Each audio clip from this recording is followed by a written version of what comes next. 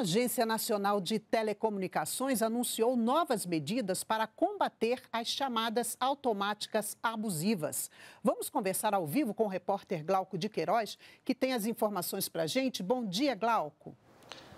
Olá, Mara. Bom dia para você e bom dia a todos. É isso mesmo, né? E entre essas medidas está o reforço das punições a empresas né, que praticam o telemarketing abusivo, né? A partir de 3 de novembro, serão bloqueadas por 15 dias né, as empresas que gerarem pelo menos 100 mil chamadas curtas por código de acesso em um dia, ou que gerarem pelo menos 100 mil ligações, 100 mil chamadas diárias, de forma que elas superem 85% das ligações totais. Né? Essas chamadas curtas, né, são aquelas não completadas e aquelas com duração né, de até 3 segundos. Segundo a agência, o abuso dessas ligações né, configura uso indevido dos recursos de numeração e uso inadequado né, dos serviços de telecomunicações. Né. Também fazem parte das medidas anunciadas ontem a determinação para que as empresas criem em até 60 dias uma plataforma pública para que o consumidor possa consultar a empresa titular que faz essas chamadas. Né. Uma vez por mês, a Anatel vai divulgar a relação né, dessas empresas,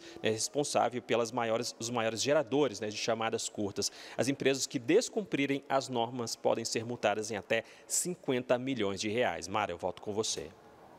Obrigada pelas suas informações, Glauco.